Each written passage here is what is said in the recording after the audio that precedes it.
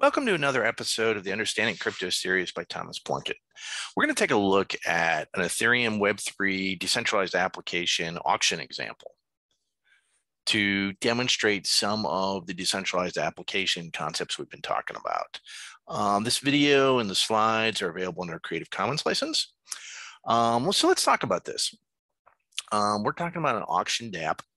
The uh, Auction dApp is really here just to demonstrate how these different decentralization tools can work. So in this particular case, our auction dApp is going to allow a user to register an NF non-fungible token representing a deed to some unique asset, perhaps a house, a car, trademark, trademark, some artwork, whatever. Doesn't matter. Um, you know, your non-fungible token under the ERC 721 can represent any of those things.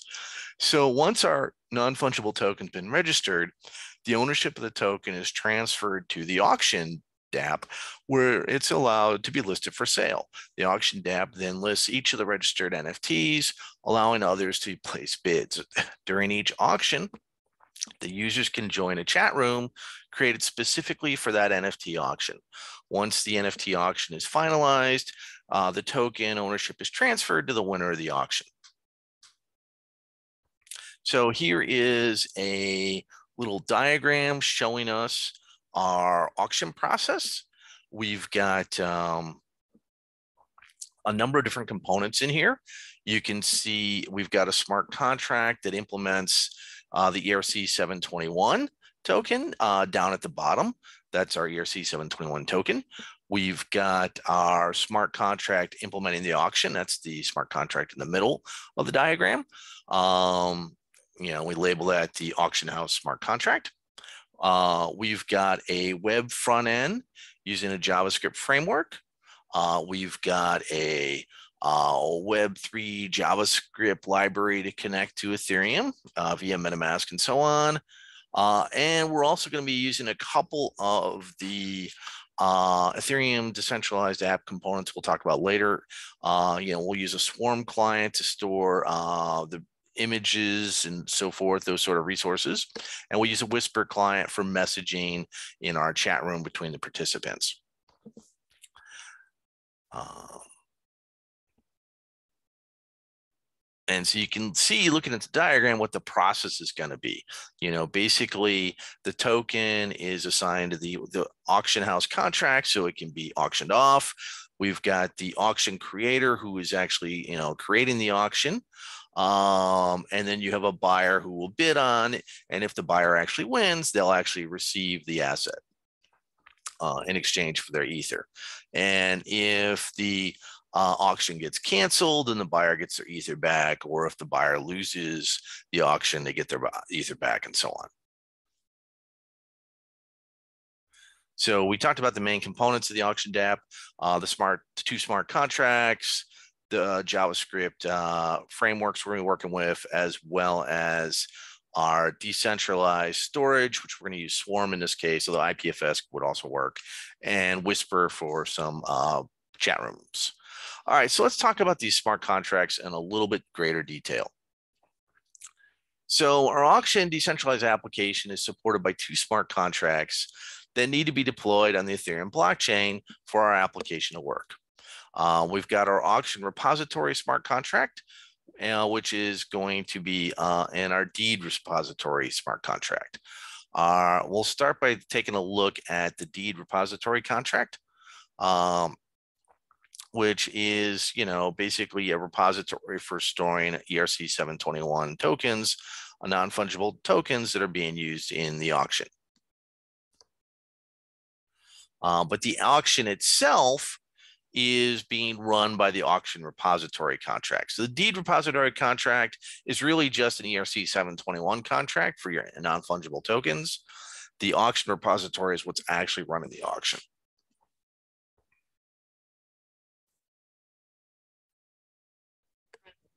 So the smart contract is actually too long to show it on a slide, but I'll show the main definition of the contract and the data structures in the slides.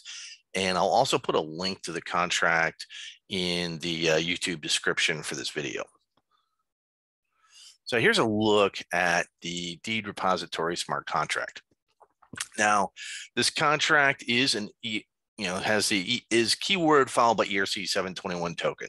That's showing you, hey, we're implementing the ERC 721 token interface.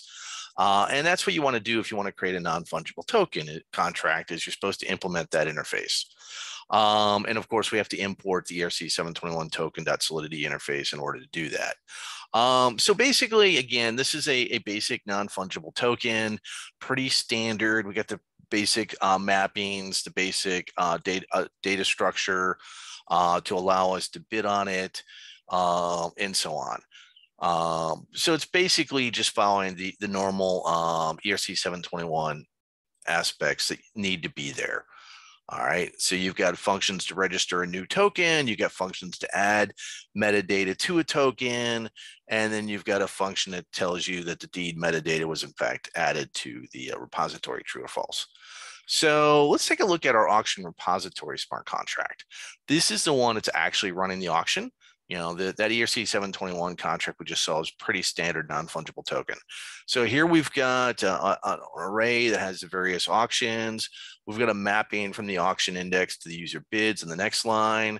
And you've got a mapping from the owner of the NFT to, a, uh, I'm sorry, the owner of the auction to a list of owned auctions. Um, then you've got a data structure to hold the bidder and the amount and an auction data structure which holds all the various required info for that particular auction, the name, the, the block deeds, metadata, deed IDs, owners, and so on. Um, some of the other functions include, and there's a lot of them here, so I'm not showing you all the details, but we've got functions like get count, get the bids count, get auctions of, get current bid, get auctions count by of owner, auction by ID, create auction, approve and transfer, cancel auction, finalize auction, and so on. Uh, so that's a lot of different uh, functions. Um, hold on a second.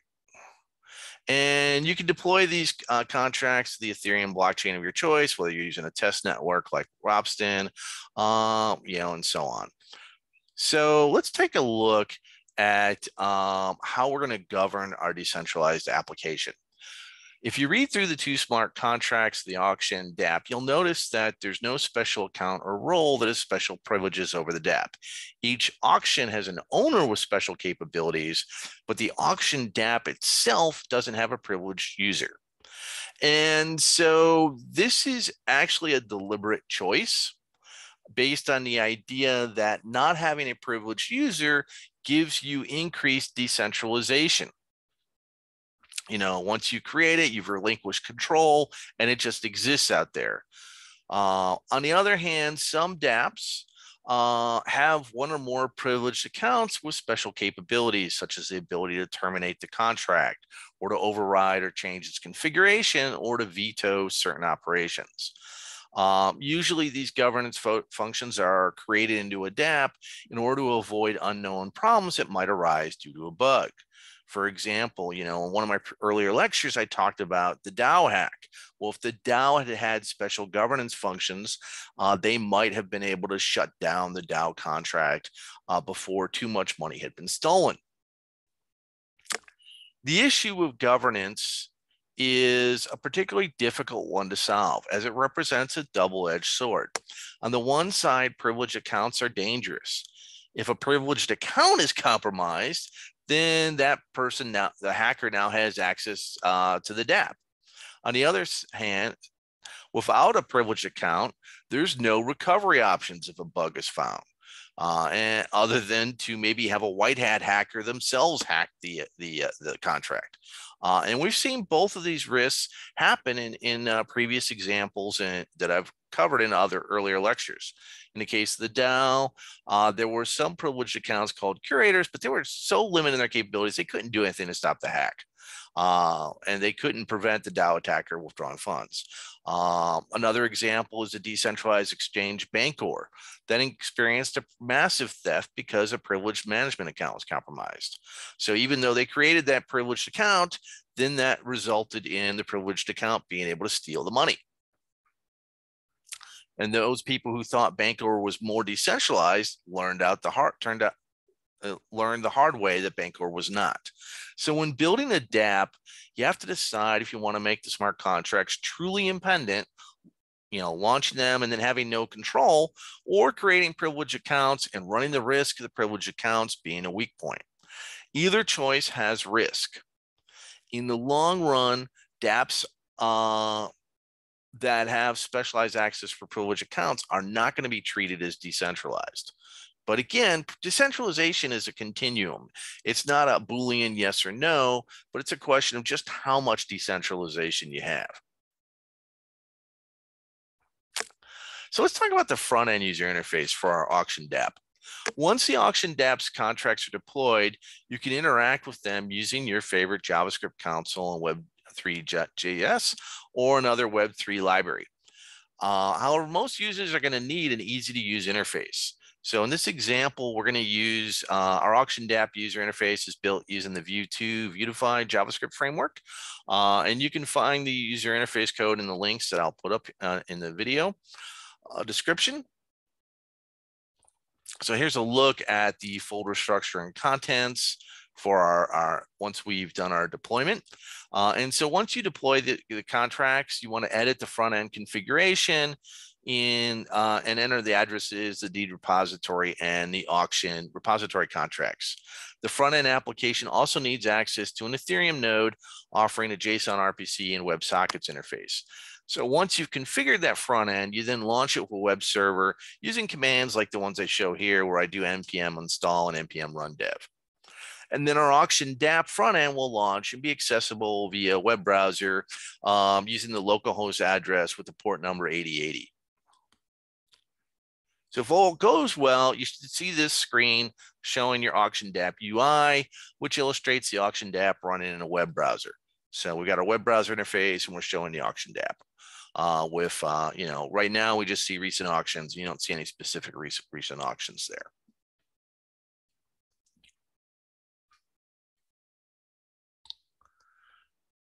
So our DApp is already decentralized to a certain extent. You know, we've got smart contracts, we've got um, our JavaScript front end, but there's some other things we can do to even increase the decentralization. You know, currently our auction repository contract operates independently of any oversight. It's open to everyone. You know, we don't have a special privileged account on it. Once deployed, it can't be stopped, nor can any auction be controlled. It's just out there on the blockchain. Each auction will have a separate chat room that allows anyone to communicate with the auction without censorship or identification. The various auction acts, assets such as description and images are stored on Swarm, making them hard to censor or block anyone can interact with the decentralized app by constructing transactions manually or by running the Vue front end on their local machine. The DApp code itself is open source and developed in a public repository. So there are two things we can do to make it further decentralized and resilient. We can store all the app code in Swarm or Interplanetary File System IPFS, and we can access a DApp by reference to a name using the Ethereum name service. So we're going to do some subsequent lectures where I'll dive into Swarm and I'll dive into ENS. So for now, though, I want to thank you for watching this uh, brief little lecture on Web3 auction DApp.